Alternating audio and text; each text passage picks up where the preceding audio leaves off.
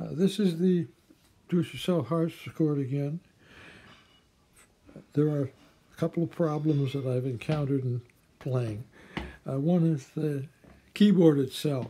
The keyboard, the keys on the keyboard are a little bit too far apart generally. The appearance is that some are close, some keys are close, and some keys are uh, further apart. But it does it does make playing a little bit more awkward than playing my acoustic piano downstairs, which is uh, has a similar looking keyboard as far as distances and uh, angles of uh, the keys are concerned. But it's it's more comfortable to play. The other concern has to do with two strings. Two strings do not quite meet the soundboard. All strings are supposed to meet the soundboard. These two strings won't keep in touch with the soundboard on their own. They have to be adjusted constantly, have to keep pushing them down. And the reason I sometimes think is that the hitch pin for each of those uh, strings is not as straight as I wanted it to be. So the string will slide up, which is a, a big nuisance.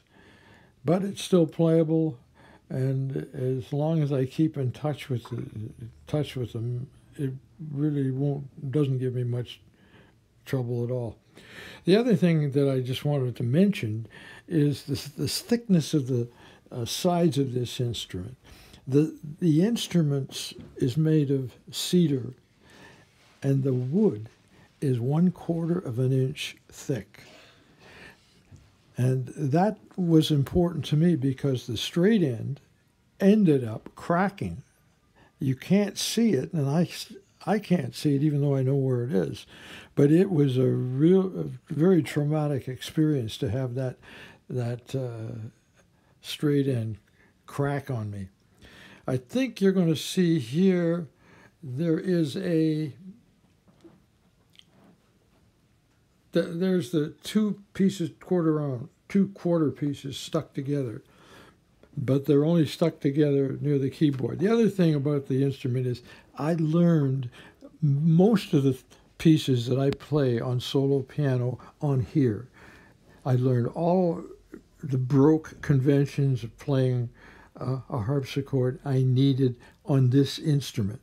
It's hard to believe, but I learned an awful lot on this stuff on this instrument.